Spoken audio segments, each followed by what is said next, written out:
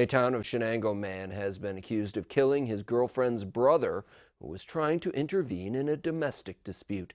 The Broome County Sheriff's Office has charged 20 year old Christian Smith Bartlett with murder in the stabbing death Friday evening of 29 year old Randy Gleason of Lisle. Sheriff's deputies were called to apartment 28 at 9 Kattelville Road in the town of Chenango at about 6:40 p.m.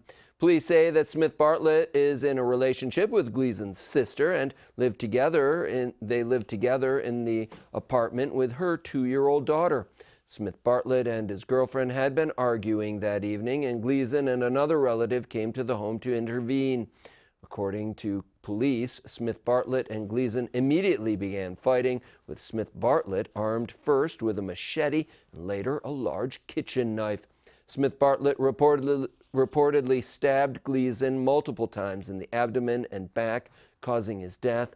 Police say Smith Bartlett was kneeling in the parking lot with his hands in the air when they arrived, and they found a neighbor trying unsuccessfully to revive Gleason on the kitchen floor.